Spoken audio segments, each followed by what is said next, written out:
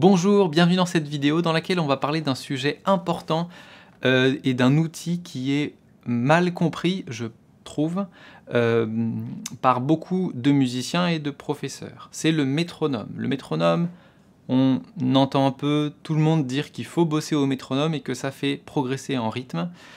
Et j'ai envie de nuancer ce propos parce que je trouve que c'est un outil qui est bon dans certaines circonstances, pour certains exercices très précis, mais la plupart du temps, c'est un, outil qui est mal utilisé, je trouve.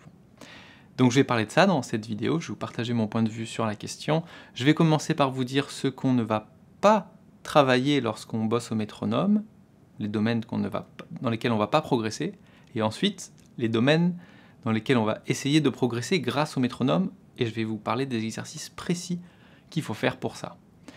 La première des choses, c'est que le, euh, en général, le conseil qu'on entend tout le temps par presque tout le monde, c'est de toujours jouer au métronome avec un métronome qui a le clic sur tous les temps. Donc 1, 2, 3, 4, et on va s'entraîner à jouer un morceau qui est écrit ou à improviser par-dessus ce clic. Cet exercice, il a certains bienfaits, et je trouve que notamment c'est un exercice qui est intéressant si on a une partition qui est écrite, que ce soit bah, une partition ou ce soit un relevé d'improvisation, qu'on va chercher à jouer en entier sans sauter de temps, sans rajouter des temps, en, voilà, en étant bien régulier et en, en le faisant lentement, plus lentement que le tempo final. Et puis petit à petit, on accélère le tempo du métronome. Voilà, donc de façon progressive, on va monter le tempo et on mémorise l'enchaînement, enfin le déroulement de la musique sans sauter de temps. Ça, c'est utile pour cet exercice-là de mettre le métronome sur tous les temps. Cet exercice, en revanche, il ne va pas vous faire progresser en stabilité rythmique et il ne va pas vous faire progresser en placement rythmique. Je vais expliquer ça un peu plus en détail. Il y a beaucoup de personnes, surtout dans le jazz, qui croient qu'ils vont progresser en placement rythmique en jouant avec un métronome et c'est faux ce n'est pas, vous n'allez pas progresser. Il y a d'autres façons, d'autres exercices qu'on peut faire pour progresser, mais celui-là, ce n'en est pas un. Donc qu'est-ce que c'est qu'un métronome? On peut se poser la question, en fait, le métronome, c'est comment on peut le voir d'un point de vue musical. Pour moi, un métronome, c'est un accompagnement qui est ultra minimaliste et qui est pas forcément très musical. Donc c'est euh, à nous de faire la musique lorsqu'on joue avec un métronome. On ne peut pas se reposer, par exemple si on joue sur un playback, qui sonne super bien, on ne peut pas se reposer sur la qualité musicale du playback, puisque là, il n'y en a pas, il y a juste un clic. Donc il faut que, pour que la musique soit belle, il faut que ce qui sort de notre guitare, ce soit beau. Et donc cet exercice, qu'on entend très souvent, de s'entraîner à jouer par-dessus un clic qui bat tous les temps, c'est un exercice qui va vous faire progresser en... Je, trouve que c'est un exercice euh, que déjà je le conseille quasiment jamais à des débutants ou à des presque débutants, parce que c'est un exercice qui je trouve est difficile, pour les personnes qui ne sont pas habituées à jouer avec un métronome et qui n'a pas d'intérêt à ce niveau-là de leur progression. Pour les musiciens plutôt avancés, intermédiaires avancés, ça peut être intéressant, mais pour les presque débutants, ce qu'ils vont chercher à faire, c'est être capable de faire un son correct sur leur instrument, enchaîner ces sons-là de façon à peu près régulière, et ça, ça va être plaisant à faire, et ensuite avec le temps, on va être un peu plus rigoureux sur la régularité des notes. Mais commencer par jouer tout le temps avec un métronome, c'est assez ingrat comme exercice. Il y, en a, il y a certaines personnes qui arrivent assez naturellement à faire ça et d'autres qui ont beaucoup de mal. Pourquoi? Parce qu'en fait, ce qu'il y a de difficile dans cet exercice de juste jouer sur un métronome, c'est que, et ce que ça fait travailler vraiment, c'est la concentration, ou plutôt la gestion de la concentration, ou je dirais même la gestion de l'attention. C'est-à-dire qu'il va falloir être capable de jouer pas trop fort pour entendre le métronome, d'écouter le métronome et de prêter attention à ce référentiel rythmique et de jouer nos notes en écoutant le métronome. Et ça, lorsqu'on est débutant, bah, c'est très très dur à faire parce que lorsqu'on est débutant, on est focalisé sur nos notes, sur nos manches, on regarde toutes les... là où on pose les doigts et avoir ce recul sur l'instrument et cette écoute de, de, quelque chose qui est extérieur à la guitare, c'est extrêmement difficile. Donc c'est pour ça que c'est un exercice que je, conseille. je trouve ça très ingrat de commencer par cet exercice-là. Et puis en plus, d'être ingrat, c'est pas du tout plaisant d'un point de vue musical. Euh, petite parenthèse d'ailleurs, aux professeurs qui sont vraiment axés sur cette, euh, sur cette méthode-là, je sais qu'il y a beaucoup de professeurs, surtout dans la musique classique, qui sont vraiment, euh, qui ne conçoivent même pas de faire jouer leurs élèves sans métronome. Je pense que le problème qu'il y a derrière ça, de mon point de vue, des fois c'est un peu un problème, tellement c'est omniprésent le métronome, c'est la peur du professeur que l'élève ne joue pas parfaitement en rythme. Mais en fait, ce que j'ai observé, c'est que en laissant les élèves faire et jouer dans un rythme qui est un peu instable au début, assez naturellement, ça se stabilise avec le temps. Et dans de rares cas, lorsque ça se stabilise pas et que l'élève a vraiment un très mauvais sens du rythme, là, on peut travailler ça de façon plus spécifique avec des percussions corporelles notamment.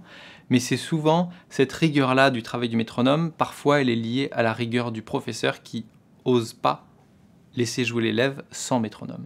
Ce que je conseille plutôt donc pour les débutants ou presque débutants, pour les faire jouer sur quelque chose qui leur permet de jouer à peu près en rythme, c'est de jouer sur un accompagnement, donc sur un backing track.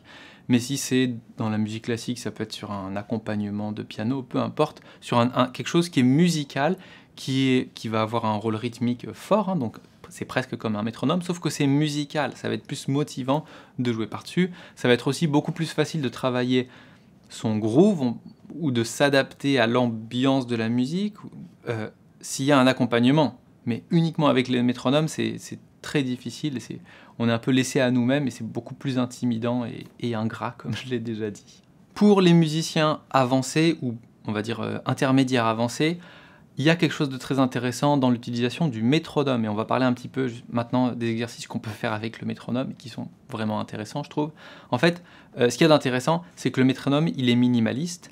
Et on va essayer plus on va devenir bon, plus on va se donner peu de repères dans le temps pour nous-mêmes être en, bah, on va être en instabilité et on va être obligé de développer un repère intérieur, une, horloge interne qui va être stable, qui va être forte, qui va être euh, qui, va nous permettre de maîtriser ça. On va chercher la maîtrise de cette, de la précision de cette horloge interne. Et donc moins on est aidé par le métronome, plus on a un exercice ingrat, d'une certaine façon, plus on va se renforcer en termes de précision de sensation rythmique.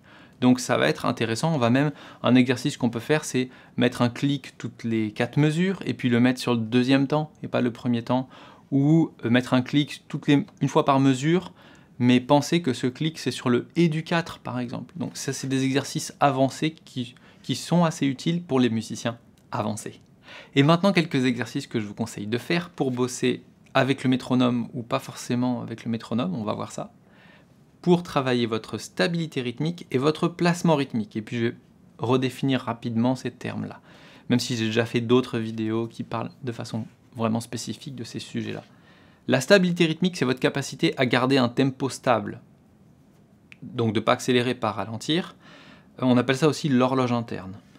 Ça, un exercice qui est idéal pour travailler ça, c'est de vous faire euh, c'est de mettre un métronome, par exemple, sur deux temps ou trois temps, et ensuite, pendant plusieurs mesures, le métronome, il va être silencieux. Ça, c'est quelque chose qui est assez simple à faire aujourd'hui avec des applications. Vous mettez, par exemple, 12 temps, donc trois mesures de quatre temps. Pendant trois temps, vous mettez un clic, et puis après, pendant les autres temps, donc ça fait 9 temps, et eh ben, c'est silencieux. Si c'est trop difficile, vous faites, on va dire, 6 temps entendus et 6 temps silencieux. Vous pouvez aussi modifier le tempo pour gérer la difficulté de l'exercice. Euh, j'ai fait une vidéo assez récemment sur ce sujet. Donc ça, c'est un exercice qui va vous faire bosser votre stabilité rythmique puisque vous avez un clic qui vous donne le tempo. Ensuite, ce clic, il continue mais il est silencieux. Ça va être à vous de le garder dans votre tête et de jouer en gardant cette horloge interne précise pour retomber au bon moment sur euh, lorsque ça reboucle et lorsque le métronome se remet à, jouer. Donc ça, c'est un exercice parfait, idéal pour travailler l'horloge euh, interne. Et pour travailler le placement rythmique. Le placement rythmique, c'est le fait de jouer sur la pulsation ou un peu trop tôt ou un peu trop tard. Ça, euh, c'est pas en jouant avec un métronome que ça va vous faire progresser. Je vais vous expliquer pourquoi.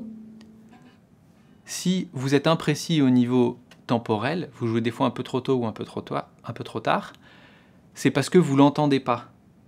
Donc, même si vous vous focalisez très précisément sur votre synchronisation, votre capacité de jouer les notes exactement au moment du clic, même si vous êtes très concentré là-dessus, ça va vous faire progresser un peu, mais ce ne sera pas aussi bien que faire l'exercice que je conseille dans plusieurs vidéos que j'ai publiées, je pense, qui est de s'enregistrer dans une station audio numérique.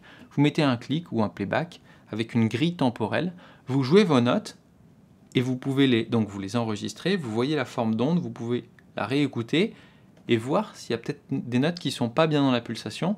Déjà, juste en écoutant l'enregistrement, vous allez vous rendre compte qu'il y a des choses qui sont pas forcément précises. Et en les recalant temporellement, vous allez pouvoir entendre la différence entre un bon placement rythmique et un placement rythmique imprécis.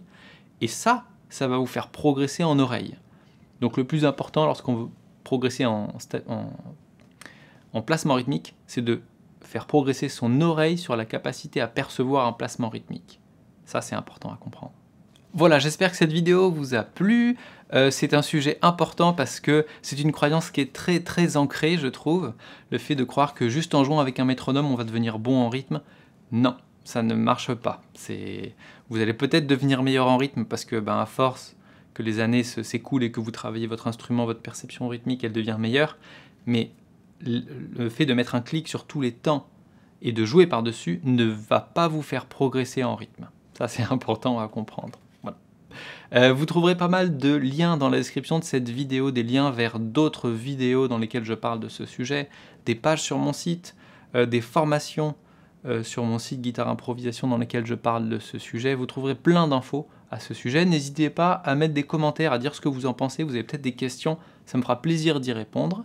Et puis bien sûr, bah, partagez la vidéo, mettez un pouce en l'air, abonnez-vous si vous n'êtes pas déjà abonné. Et puis à la prochaine Mm-hmm.